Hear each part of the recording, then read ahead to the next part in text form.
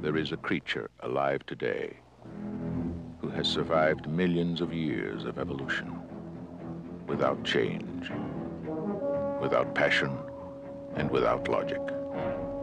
It lives to kill. A mindless eating machine. It will attack and devour anything. It is as if God created the devil gave him jaws, jaws,